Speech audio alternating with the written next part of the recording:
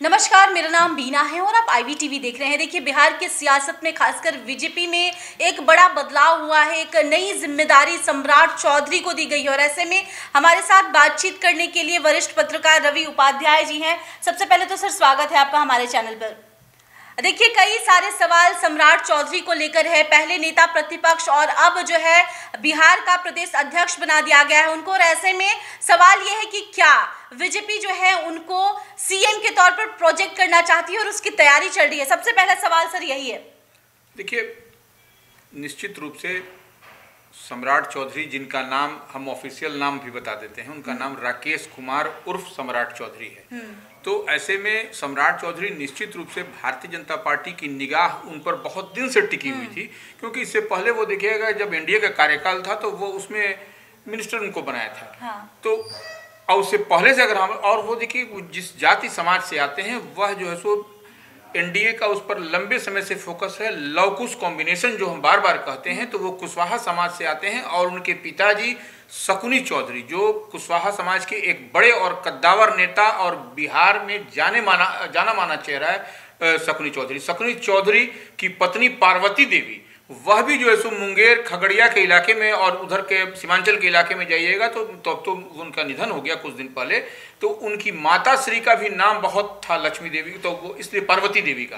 तो वो ऐसे में वो एक बड़ा चेहरा सम्राट चौधरी को खिला प्रदेश अध्यक्ष भारतीय जनता पार्टी ने बना करके एक बहुत ही माने मास्टर स्ट्रोक जिसको हम कहेंगे वो खेला। इसमें कहीं कोई दो मत नहीं है लेकिन एक बात और है इसमें बीना जी कि जदयू की ओर से भी कुशवाहा समाज के ही प्रदेश अध्यक्ष हैं उमेश कुशवाहा। हम्म, हम्म। इस पर भी हम लोगों को नज़र रखनी हाँ, चाहिए। तो अगला सवाल यही है कि जिस तरीके से पिछड़ा अति पिछड़ा की राजनीति बिहार में हो रही है लगातार चर्चाएँ भी हो रही हैं बिहार के जो जानकार है राजनीति के वो लगातार का ज़िक्र कर रहे हैं और लगातार खबरों में ये चल रहा है। ऐसे में आ, क्या बीजेपी ने भी पिछड़ा अति पिछड़ा कार्ड खेला है और सम्राट चौधरी को एक नई ज़िम्मेदारी दी है? देखिए जिस तरह से नीतीश कुमार एनडीए को छोड़ करके महागठबंधन के फोल्ड में गए महा महागठबंधन के साथ में गए हम्म। सरकार बनाए तो निश्चित रूप से जो उनका कोर वोट बैंक है हम्म। वह तो उसमें नाराज़गी है तो उसी को उसी नाराज़गी को आपको उसका एक सबसे बड़ा उदाहरण उपेंद्र कुशवाहा है जो जदयू संसदीय बोर्ड के राष्ट्रीय अध्यक्ष थे वो जान रहे थे कि जो तीन जो उपचुनाव के परिणाम के नतीजे आए हम्म। विधानसभा के उस पर जो है सो वोट जो है सो ट्रांसफ़र नहीं हो सका कुशवाहा समाज का इधर महागठबंधन में तो ऐसे में वह जानते थे इसी को देखते हुए उन्होंने तुरंत पाला बदला और जो है सो नीतीश कुमार से अलग हो गए अलग होकर के अपनी पार्टी उन्होंने हाँ।, हाँ तो यही है तो यह कुशवाहा समाज वो जान रहा है। देखिए हम बार बार एक बात कहते हैं जिस तरह से राजस्थान और हरियाणा में आप जाइएगा तो गुज्जर और जाट का वोट एक दूसरे पर नहीं चढ़ता है। हम्म। वही वही परिस्थिति यहाँ पर जादव और कुशवाहा कुशवाहा और जादव का वोट नहीं ट्रांसफ़र होता है जिसका परिणाम आपको तीन बाई इलेक्शन में आपको उपचुनाव में देखने को मिला।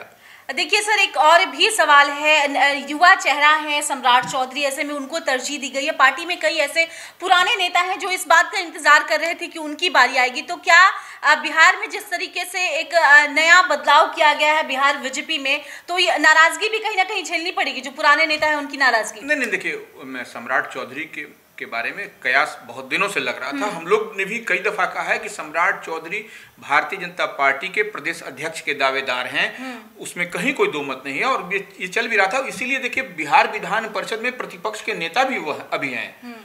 प्रतिपक्ष के नेता रहते हुए अब देखिए इससे बहुत कुछ आपको बदलाव भी नज़र आएगा विधानसभा में प्रतिपक्ष का नेता सम्राट चौधरी की जगह कोई दूसरा कोई बनेगा वो जनक राम की बात आ रही है हम्म। जो भारतीय जनता पार्टी में है और पूर्व सांसद हैं और वो जनक राम को वहाँ पर उस जगह जगह पर बैठाए जाने की बात अब आ रही है तो यह इसलिए बहुत सारा कुछ बदलाव आपको देखने को पार्टी के अंदर वो पूरी तैयारी 2024 के लोकसभा चुनाव को लेकर के ही भारतीय जनता पार्टी पूरी तरह से एक्सरसाइज कर रही है। और 2025 में जैसा आप सबको मालूम है कि बिहार विधानसभा का चुनाव होना है। और देखिए सबसे एक बात अहम है कि विनोद तावड़े जी जो बिहार के भारतीय जनता पार्टी के प्रभारी है पार्टी मामलों के तो वो उनसे बड़ा अगर यदि जो जब से एनडीए को छोड़ करके नीतीश कुमार महागठबंधन के साथ गए हैं। पूरी तरह से बिहार की कमान अब एक तरह से हम कहें तो अमित शाह के हाथों में है।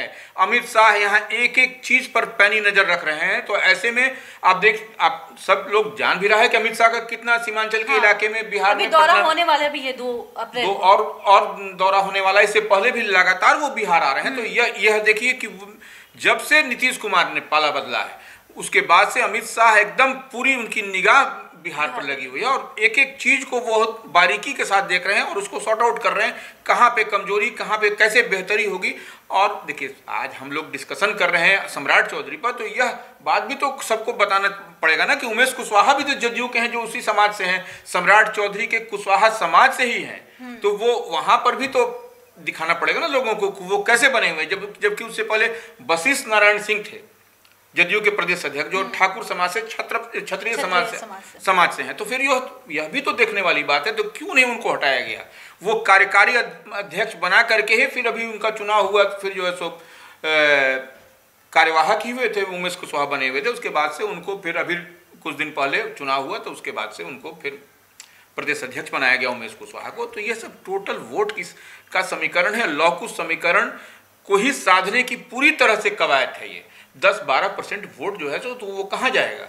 और यही लोग तो भी हैं कि उपेंद्र कुशवाहा भी जो अलग पार्टी बनाए हैं एनडीए के फोल्ड में आएँगे तो एनडीए और मज़बूत होगा और टोटल कुशवाहा का इंटैक्ट वोट जो होगा वो एनडीए के, के पक्ष में आएगा 2024 में। यही पूरी तरह से रणनीति ये समझ में आ रही है। देखिए एक नाम और भी जो एनडीए के साथ हमेशा लिया जाता है बीजेपी के साथ लिया जाता है और वो है चिराग पासवान।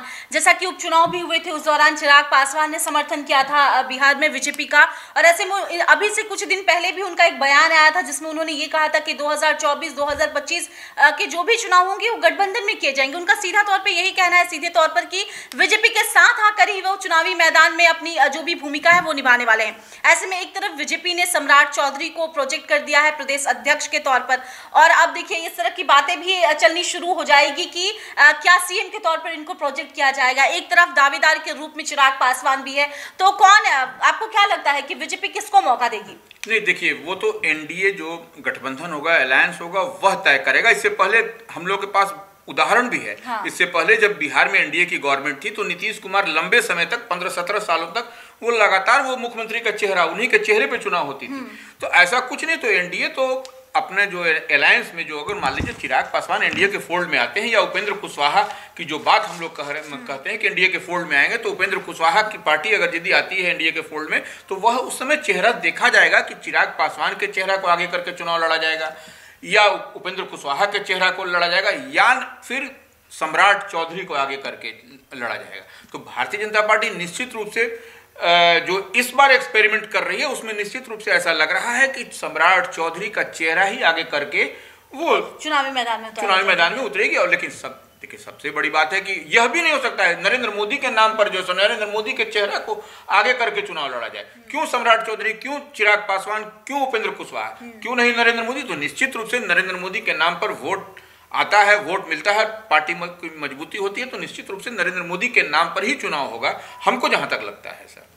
एक और सवाल जो कि बीजेपी से ही है। मोदी मंत्रिमंडल विस्तार की लगातार चर्चाएँ हो रही है बातचीत हो रही है। ऐसे में क्या संभावनाएँ हैं कि मोदी मंत्रिमंडल का विस्तार होगा? और अगर विस्तार होता है तो बिहार के कौन से नेताओं की वहाँ पर एंट्री हो सकती है जगह मिल सकती है? देखिए निश्चित रूप से जैसा अब तो एकदम अब क्रिस्टल क्लियर है कि अब जो है सो नरेंद्र मोदी मंत्रिमंडल का विस्तार करेंगे, अब तक तो कयास ही लग रहा था लेकिन जब से अब आज से और अभी से हम कहें कि जब से सम्राट चौधरी के नाम पर मुहर लग गई जेपी नड्डा जो भाजपा के राष्ट्रीय अध्यक्ष हैं उन्होंने मुहर लगा दिया और हम कहेंगे कि एडिटर को आपके वीडियो एडिटर को कि वह उस लेटर को दिखाएँ कि सम्राट चौधरी का जो जेपी नड्डा का लेटर है वो उसको दिखाएँ वो।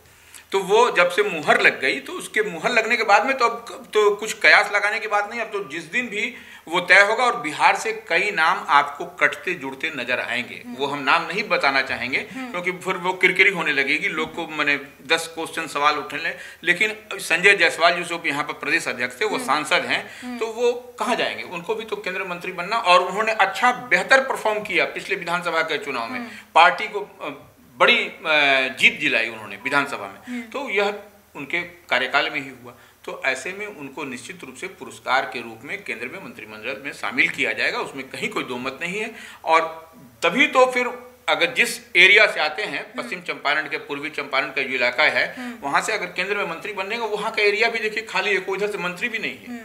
तो ऐसे में निश्चित रूप से संजय जायसवाल को जिम्मेवारी बड़ी मिलने जा रही है और एक्सपेंशन होगा। और जो चिराग पासवान पर भी कयास हाँ, लग रहे थे चिराग कि चिराग पासवान। मंत्री मंत्री एनडीए फोल्ड में आते हैं तो नि- निश्चित रूप से चिराग पासवान एनडीए फोल्ड में आएँगे और चुनाव का समय भी आ गया तो तो वो और जिस तरह से उनको कैटेगरी की सुरक्षा दी गई है सुरक्षा घेरा बढ़ाया गया है तो जितने कॉन्फिडेंस के साथ खुद चिराग पासवान बार बार ये कहते हैं कि हम मोदी के साथ है या फिर जो भी उपचुनाव बिहार हाँ, में हुए उसके दौरान उन्होंने खुलकर समर्थन किया है।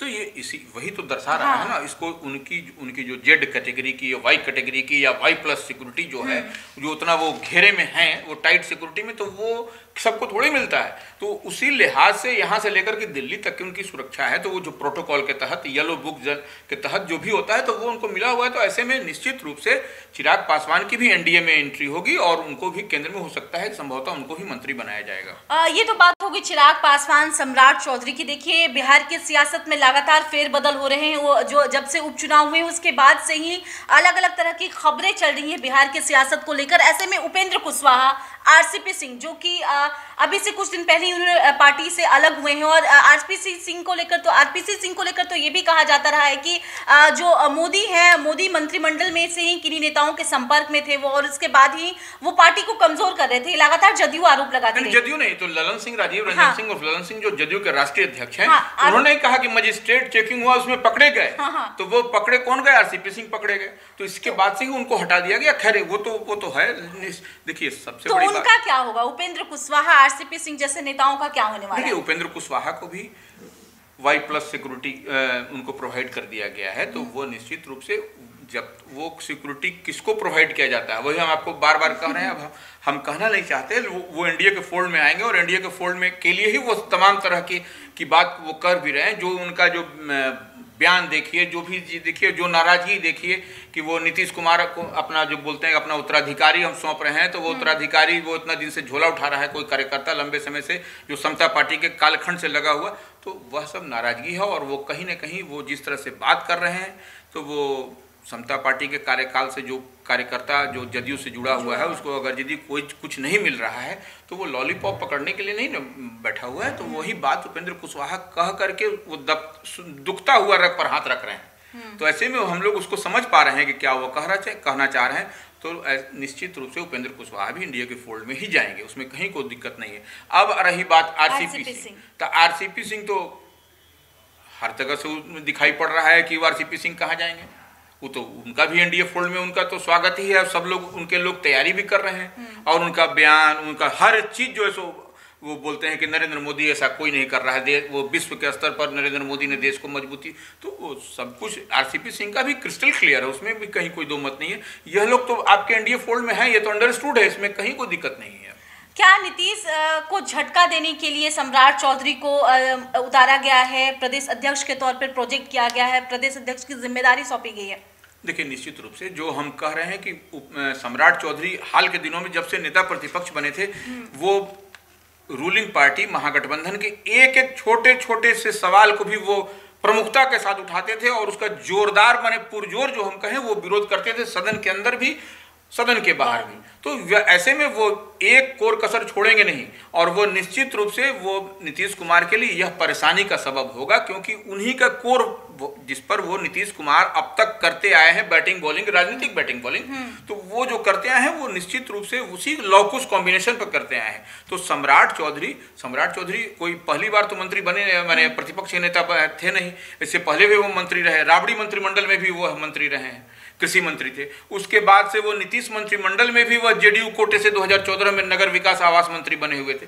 तो वो सबको सब कुछ, सब बात समझ रहे हैं वो। ऐसा नहीं कि नहीं समझ रहे हैं। तो वो इनके लिए परेशानी होने जा रही है आने वाले समय में। अगर यदि नहीं समय पर चेते तो निश्चित रूप से यह परेशानी इनके लिए देखिए, एक आखिरी सवाल है 2024 लोकसभा चुनाव 2025 विधानसभा चुनाव के पहले जिस तरह के आसार बिहार के सियासत में देख रहे हैं, एक तरफ़ उपेंद्र कुशवाहा पार्टी से अलग हो गए हैं, जदयू से आरसीपी सिंह का प्रकरण पहले से चल रहा है, ऐसे में चिराग ने भी ये कह दिया है कि वो एनडीए के साथ जाने वाले हैं, दूसरी और सम्राट चौधरी को एक बड़ी ज़िम्मेदारी दे दी गई है। तो क्या लगता है, कैसा होगा आने वाला आगामी चुनाव जो है, दोनों चुनाव में किस तरह बीजेपी खुद को मज़बूत कर पाएगी, क्या होगा चुनावी मैदान में?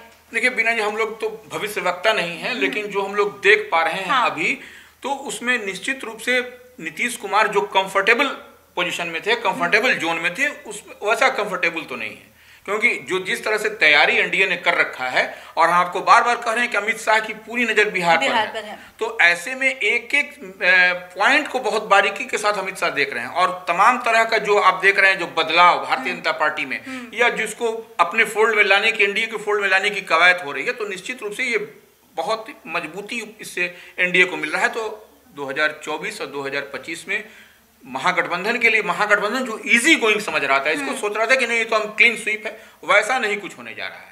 है कि 2024 में देखिए लोकसभा का पोल जब भी होगा एकदम सिंपल थ्योरी है इसमें कि वो नेशनल प्रोस्पेक्टिव पर वोट होता है।